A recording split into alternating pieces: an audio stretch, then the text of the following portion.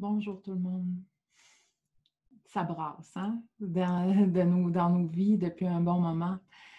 Et euh, ça amène des belles vagues de contraction qui amènent, si on, on, choisit de le voir comme ça, à des opportunités qui étaient peut-être pas visibles avant ça. Mais avant même d'être capable de voir ces opportunités-là, ben, il faut être en mesure de surfer un peu sur ces vagues-là avec euh, ah, un, abandon, un lâcher-prise, renouveler encore et encore. Même quand on pensait avoir lâché prise, ça nous demande de lâcher prise encore plus et de revenir dans un espace de neutralité. Puis ce que j'ai envie de, vous parler aujourd'hui, c'est euh, ce qui fait une différence pour moi en ce moment pour traverser des périodes de grandes transformations, de grands mouvements aussi.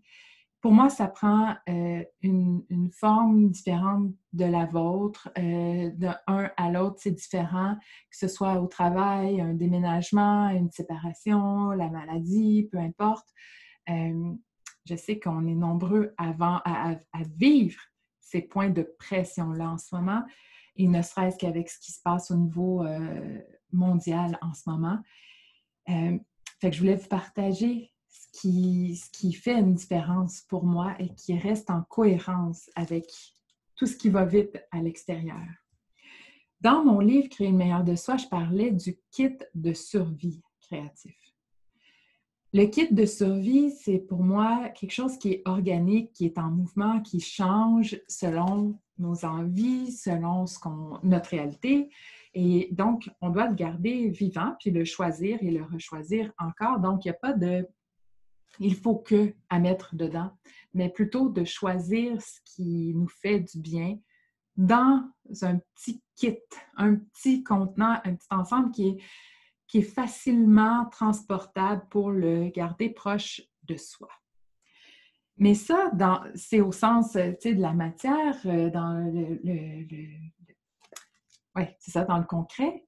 Mais un kit de survie, c'est aussi dans comment on est avec nous-mêmes. Donc, avant même de faire quoi que ce soit, il y a ce point-là de rencontre avec soi qui est primordial, qui est essentiel pour moi, puis pour tout le monde. Et ça, j'y crois fondamentalement on prend de meilleures décisions quand on est centré, quand on est un peu plus calme, quand on a accès à cette zone-là de, tranquillité, même juste de 1% plus que la seconde avant. Alors, euh, pour moi, dans mon kit de survie, il y a ça. Il y a le retour au centre pouvoir venir apaiser mon mental qui tourbillonne, qui va vite, qui en a des choses à, régler, à décider. Et j'ai envie de l'inviter à se détendre. Et avec mon souffle, je l'invite à glisser contre mon cœur. Et je l'attrape ici avec mon autre main. Puis ensuite, je ramène les mains comme ça ici pour venir bercer ce mental-là égoïque, mon petit moi qui a peur, qui pense qu'il doit tout contrôler, qui pense qu'elle a perdu son pouvoir, sa force, sa liberté, puis elle a besoin de se reposer. Fait que je l'amène contre mon cœur, puis je respire avec elle et avec mes mains qui sont ici contre mon corps, bien, ça fait une présence rassurante. Et j'imagine mon petit moi déposé contre mon cœur, comme quand on berce un enfant, quand on berce contre notre cœur, puis dire, même si tu viens de faire une crise, même si euh, c'est difficile en ce moment, je vais rester auprès de toi, puis coller, coller, coller, coller contre mon cœur, puis je vais t'aimer inconditionnellement. Et je respire avec mon ego qui peut être blessé, qui peut être en colère, qui peut avoir peur, je le berce. Je reste présente à moi. Je ne suis pas en train de chercher la perfection. Je ne suis pas en train de mettre de la beauté là où c'est difficile à tout prix. Mais plutôt, c'est une présence et c'est un engagement que je réitère encore et encore à travers vents et marées. Et parfois, c'est tout simplement mécanique de pouvoir respirer lentement pour envoyer le signal à mon cerveau que je suis en sécurité. Que même si c'est inconfortable en ce moment, même si ça ne fait pas mon affaire, telle affaire, telle affaire, il se passe telle, telle chose, je ne suis pas contente, je vais respirer volontairement plus lentement, plus tranquillement, plus profondément pour dire à mon corps, à, mon, à ma tête qu'on est en sécurité quand même et que je suis là. Ça, ça ne prend pas trois heures. Ça, pour moi, là, dans, ma pratique, c'est plusieurs fois par jour. Donc, euh, les petits pas des muses, c'est ça. Hein? Revenir à moi. Calmer le mental. Je t'aime, ma cocotte. Hein? Tu vas vite, tu vas vite, tu te casses la tête. Viens ici. Et ensuite, je continue à vivre, je continue à, devoir avancer, prendre des décisions, mais avec un petit peu plus de calme que les minutes avant. Donc, ça n'a pas besoin d'être long, fastidieux, compliqué, mais il y a beaucoup de tendresse, d'amour et de présence. Même quand c'est très, très, très, très difficile, puis, euh, oh mon Dieu, beaucoup d'informations, beaucoup d'informations dans le corps hein, qui, qui surgissent, c'est inconfortable, de réitérer ce geste-là encore et encore. On est en train de développer un réflexe, un engagement envers soi, une présence à soi, à dire même si c'est inconfortable, même si euh, c'est difficile, je reste présente à moi. J'appelle ça aussi revenir dans la posture de la souveraine à l'intérieur de nous, qui est ancré dans un sol stable à l'intérieur de notre propre territoire, donc ici, maintenant.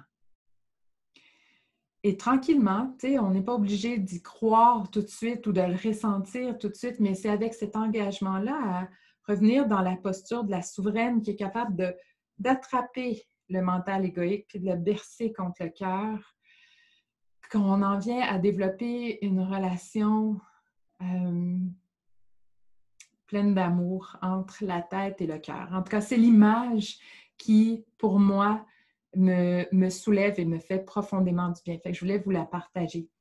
Et, même sans que ce soit euh, quoi que ce soit euh, complexe ou, ou, même imagé, hein, au volant de la voiture, en train de faire la vaisselle, avant d'entrer en séance d'accompagnement individuel ou du cercle des muses ou euh, un appel téléphonique, je me centre. C'est ma responsabilité d'amener à la table de travail le meilleur de moi. Et c'est notre responsabilité à toutes, mais vraiment, de pouvoir se recentrer avant de demander ce qu'on a besoin, avant d'offrir de l'aide, avant d'être présent aux autres, d'être capable d'être présent pour soi, pour avoir accès au meilleur de soi et l'offrir ensuite. Donc, ça, c'est la première affaire dans mon kit de survie. Et ensuite, il y a la pratique euh, d'écoute intérieure, mon rituel du matin, qui est conçu de papier-crayon et de simplicité, de présence à moi. Donc, je suis là pour moi le matin, même juste pour un mot, pour la date, puis un mot. Je suis là. Donc, je ne veux pas tomber dans une obligation, une recette, un carcan. Euh, je veux me sentir fondamentalement libre dans ma pratique, c'est important.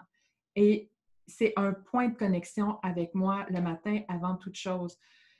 Je joue dans cette pratique-là, mais je suis surtout présente à moi. Donc, il y a des matins où oh, c'est pas cohérent. J'ai mon cahier, mon crayon avec moi et je choisis consciemment, en toute connaissance de cause, de dire ben, ce matin, j'ai pas envie d'écrire, je vais lire. Je prends mon café, mais je suis là avec moi, je lis, j'ai mes trucs à côté de moi Et, c'est ça qui est ça. Parce que demain, ce sera un, autre jour, ou peut-être même au courant de la journée, ou ce soir, j'aurai envie d'écrire. Mais je ne veux pas m'obliger à. Je veux le choisir viscéralement. Je ne veux pas fuir cette pratique-là, dire Ah, je veux éviter d'être en contact avec ce qui, ce qui se passe à l'intérieur de moi. Pas du tout, pas du tout. Donc, ça prend une honnêteté envers soi-même, une ouverture, puis dire, ben regarde, je suis fatiguée. Puis j'ai, j'ai pas de mots. Arrive, ça. J'ai pas de mots. Je vais me nourrir des mots de quelqu'un d'autre. Je vais lire. Pas sur mon cellulaire, là. Non. Dans un livre papier, inspirant. Et et de maintenir cette pratique-là, c'est un point de contact avec soi qui est réitéré jour après jour, mais dans une grande liberté fondamentale d'être en contact avec soi. Donc, je suis celle qui choisit d'être en contact avec moi et je ne suis pas en train d'appliquer une recette euh, ou quoi que ce soit. J'aime être la femme sauvage à l'intérieur de moi, d'être fondamentalement rebelle et de faire mes choix. Et, et c'est ça qui me donne l'énergie, le feu pour rester, rester dans ma pratique parce que je suis celle qui choisit. Alors, et c'est dans la simplicité que ça se passe. Papier, crayon, that's it, noir et blanc.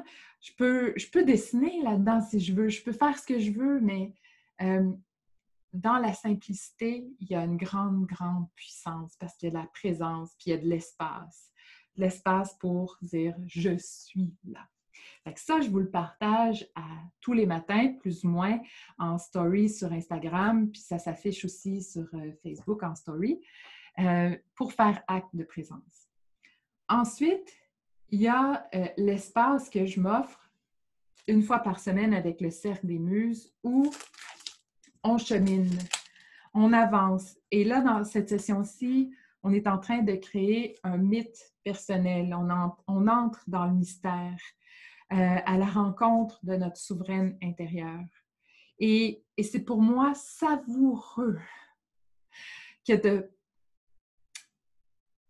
de laisser passer à travers moi ce qui a besoin d'être transmis et d'arriver moi-même à la table de création les mardis, les mains libres, vides, dans un calme immuable, avec une grande curiosité pour moi, c'est savoureux, de dire Wow! J'ai hâte moi-même de voir ce qui va ressortir. J'ai aucune idée. Parce que dans ma pratique, c'est pas ma tête qui décide, c'est mon intelligence silencieuse qui s'exprime à travers mon corps. Et c'est là que ça se passe. Je connais le thème et je me laisse, je m'offre en cadeau littéralement de l'espace pour me laisser surprendre encore et encore. Et ça, ça génère une grande dose d'énergie à l'intérieur de moi qui me supporte. Alors, ça fait partie de ma pratique.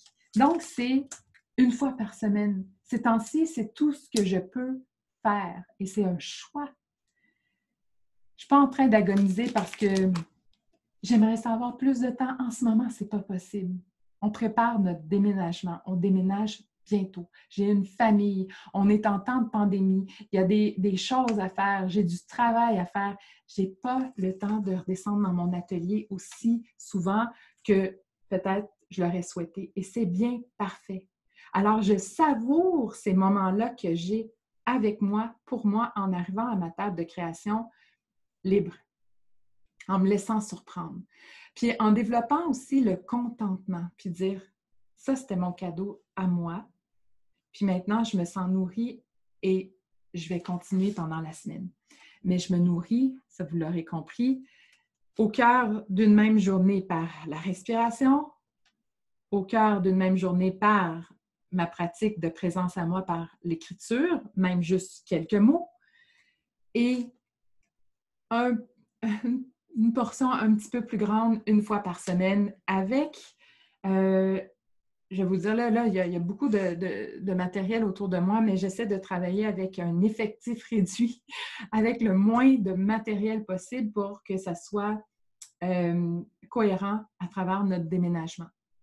Euh, puis un déménagement ici peut être de votre côté une autre situation, hein, le travail qui vous demande beaucoup, beaucoup, beaucoup. Fait ça demande beaucoup de votre attention, de votre temps, de votre énergie. Ça équivaut à un déménagement. Alors, comment on peut ramener la simplicité au cœur de notre vie par notre présence, par un effectif réduit et, de recommencer à retomber en, de, retomber en amour avec la simplicité en toutes choses et, de pouvoir prendre contact avec cette puissance-là qui réside dans la simplicité?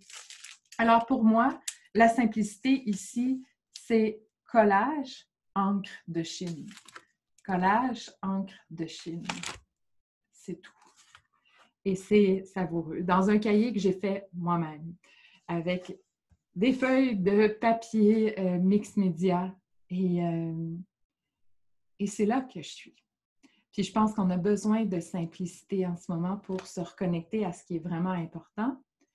Alors, moi, je vais vous poser la question aujourd'hui. Ça ressemble à quoi votre euh, moment plus grand au sein d'une semaine que vous avez envie de vous offrir? Ce n'est pas obligé d'être ce que moi je fais.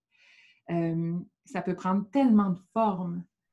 Mais ça ressemble à quoi pour vous? Ce moment-là où vous vous offrez une, parenthèse de temps juste assez vaste pour être vraiment rassasié, nourri, puis je vais vous poser aussi la question, avez-vous cette pratique-là de respiration, de retour vers le corps, toute simple, vers le corps, vers le cœur, pour accéder à la neutralité au centre, au lieu d'être tiraillé entre c'est bon, c'est pas bon, c'est beau, c'est pas beau, c'est assez, c'est pas assez, dans la dualité, de revenir au centre avant même de réagir, avant même de prendre quelques décisions que ce soit, puis d'observer. Parce que ici, au centre, ça ouvre le champ des possibles et ça nous fait accéder à des solutions qu'on n'avait peut-être même pas pensées ou entrevues. C'est fascinant. Mais ça prend un point de contact ici. Et aussi, si vous avez des questions par rapport à la pratique, euh, mon rituel du matin, l'écriture, euh, ou, vous, comment vous l'appliquez. Là, je vous dis c'est le matin, mais ça bouge. Parfois, c'est le soir aussi. Fait qu'il faut regarder il euh, faut que ça soit capable de valser avec nous dans notre quotidien. Alors, euh, ça, c'est mon kit de survie. Ça me fait sourire à chaque fois euh, pour dire, OK, OK, on revient à la base, on revient à la base. Qu'est-ce qui est important pour moi en ce moment? Pour que j'ai accès au meilleur de moi pour ensuite amener ça à la table de création dans le collectif? parce que je pense que c'est important. Hein? si on veut faire des belles grandes transformations, euh, on a besoin d'amener à la table le meilleur de soi. Puis le meilleur de soi, c'est pas nécessairement la version de nous qui est super inspirée, super pleine d'énergie, dynamique. Non. C'est celle qui est au centre, qui est ancrée. C'est déjà extraordinaire.